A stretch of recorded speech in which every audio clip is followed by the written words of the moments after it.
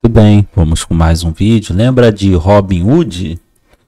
Uma plataforma de negociação que listou o Shiba Inu em 2022, né? Depois do hype todo, né? A galera pedia bastante, aí listou falando que Shiba ia cortar zero com a listagem, Shiba não fez absolutamente nada. A plataforma ficou um pouco ali no hype e tal, mas depois a galera foi esquecendo à medida que muitos colapsos foram surgindo. Bom, Robinhood parece que pode retirar da sua plataforma Solana e Cardano após declaração, tá? Estão caindo em cima dos ativos também. É, você está pensando o quê? Que só estão caindo em cima das plataformas de negociação? Olha o Cardano com uma queda de quase 15%.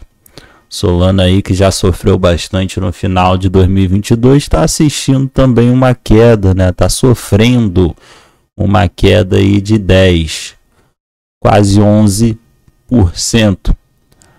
Falando aí no período de 7 dias, evidentemente, tá?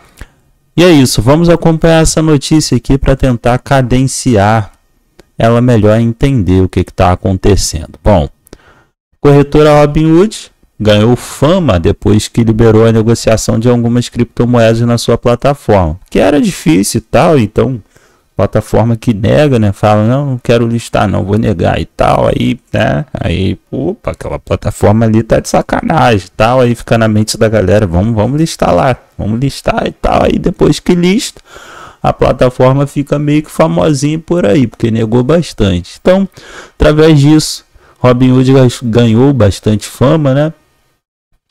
E liberou aí as negociações de algumas, né? Mas agora a plataforma está avaliando retirar algumas criptomoedas, né? A gente começou ali com Binance US, que né, tá um negócio mais pesado, já está avisando aí que está tirando, para ficar mais bonito, vamos tirar alguns pares de negociação, tá? E é isso.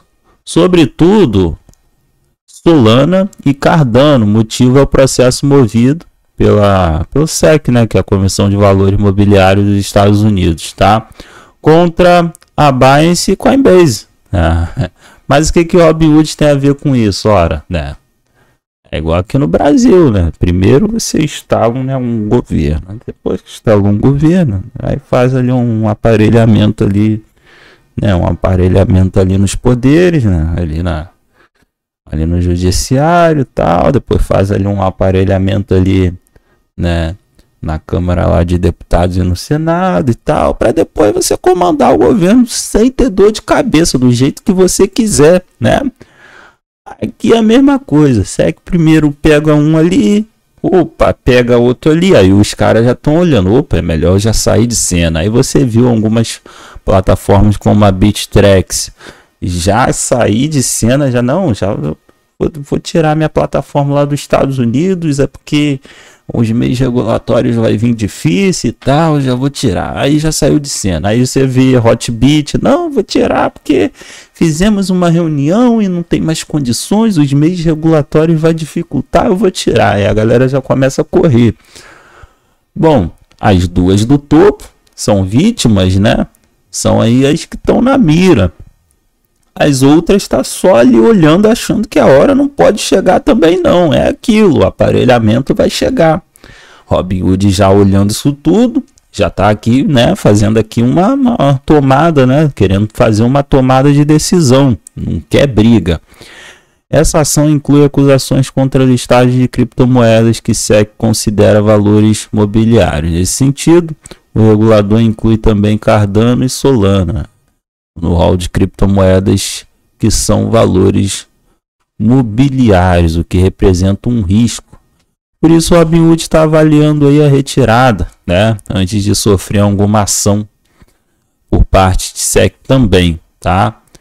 E é isso. Ah, isso aqui é normal, né?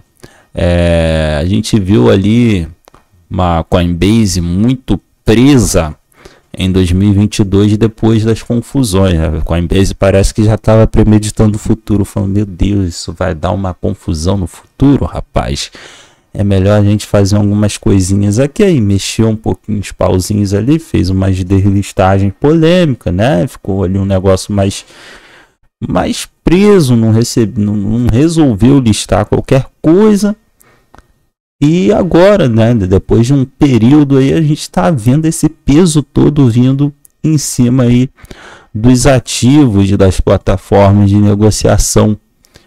E como um todo, né, Robinhood aí está de olho e não é a única não, tá? Umas plataformas de negociação nos próximos dias vão se manifestar também.